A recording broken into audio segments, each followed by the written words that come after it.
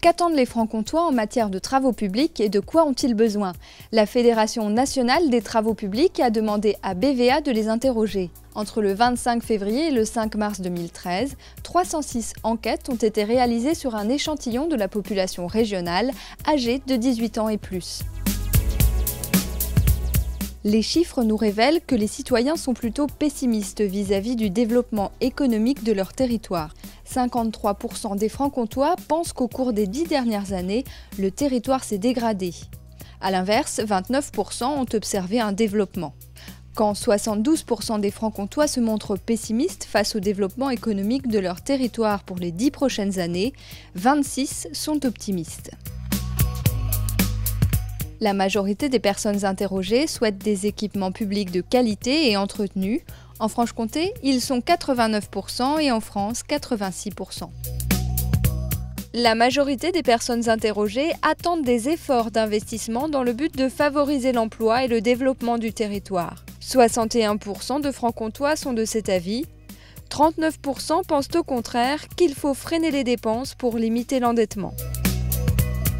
Au sujet des équipements publics, 83% des francs-comtois s'estiment satisfaits des réseaux électriques installés en France. 76% pensent de même pour les réseaux d'eau et d'assainissement.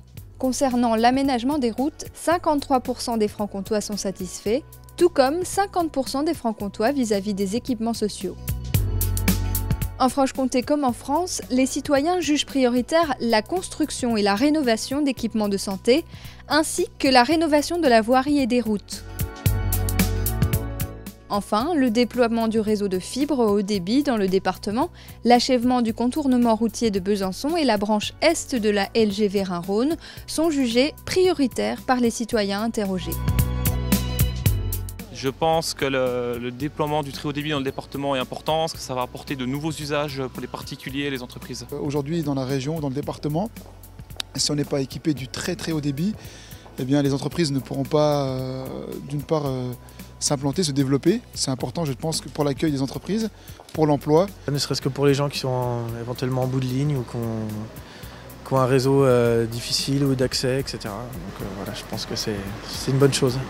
On a euh, un contournement de Besançon qui était nécessaire par rapport, y compris à la géographie byzantine depuis, depuis de nombreuses années. Hein. quand on venait de Pontarlier pour aller sur Vesoul, il fallait traverser tout Besançon. Pour que le projet soit abouti, il faut arriver à avoir un vrai contournement et non pas un demi ou un trois quarts contournement. J'ai entendu parler du contournement de Besançon et c'est vrai comme beaucoup de Byzantins, on a hâte que ce soit terminé pour faciliter l'entrée et la, sortie de Besançon. C'est un, axe très important par rapport à la Franche-Comté et puis le Rhône-Alpes, toute cette branche et puis l'Alsace, du fait que il y a beaucoup de pays nordiques qui pourraient descendre depuis là jusqu'en Italie. C'est un projet qui est un projet qui pour l'instant est inabouti. Et donc il faudra bien un petit peu euh, euh, régler euh, ces questions-là pour qu'on ait un projet qui soit dans toute son envergure sur la ligne grande vitesse qui traverse la Franche-Comté. Je suis pour ce contournement et favoriser ce contournement plutôt que de refaire encore un contournement de saut entre Luxeuil et Vesoul qui, à mon avis, est de double emploi alors que si la 19 était finie, il n'y aurait plus de soucis de, transit euh, sur ce secteur-là de la RN 57. La mise en devoir de la RN 19 entre Vesoul et Lure est très importante par rapport à l'axe de la région qui se trouve au nord de, la région de Franche-Comté, la Moselle, Meurthe-et-Moselle, tout ça, euh, l'Alsace aussi, euh, qui est limitrophe, on va dire. Le fait que l'axe soit plus fluide et plus facile pour les transports routiers serait un bonus aussi bien pour cette région que la nôtre. En résumé, si les habitants de la région Franche-Comté se montrent pessimistes vis-à-vis du développement économique de leur territoire, ils restent attachés à la qualité des équipements économiques et souhaitent une hausse des investissements. Ils sont en revanche divisés sur leur perception des aménagements et des équipements publics. Ils se montrent satisfaits des réseaux électriques, de l'eau, de l'éclairage, des déchets, des espaces verts et des équipements scolaires. Ils sont plus partagés au sujet des écoquartiers, des transports en commun, des équipements de protection contre les risques naturels ou des équipements sociaux.